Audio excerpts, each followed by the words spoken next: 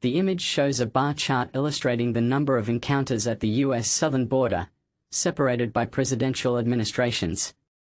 Each administration is color coded. Clinton, blue encounters varied throughout his term, with numbers fluctuating but generally high, peaking around the year 2000. George W. Bush, pink encounters remained elevated during Bush's presidency, with some of the highest levels seen in the mid 2000s.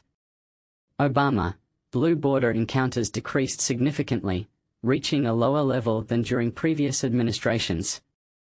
Trump, red encounter numbers remained relatively low compared to previous administrations but began rising toward the end of his term. Biden, blue encounters have spiked sharply, reaching record levels in 2021 and 2022, with a slight decline shown for 2024, data through July.